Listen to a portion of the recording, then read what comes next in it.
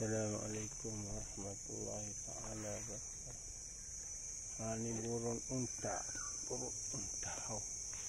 Panjang burung unta nih. Kepalanya. Uh. Tubuhnya, kepalanya panjang. Burung unta. Unta punya burung, burung punya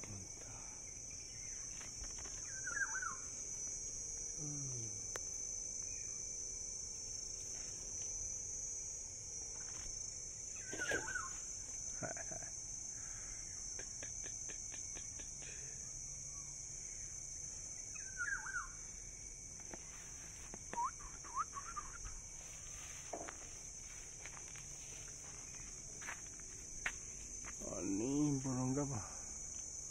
Ayam kampung.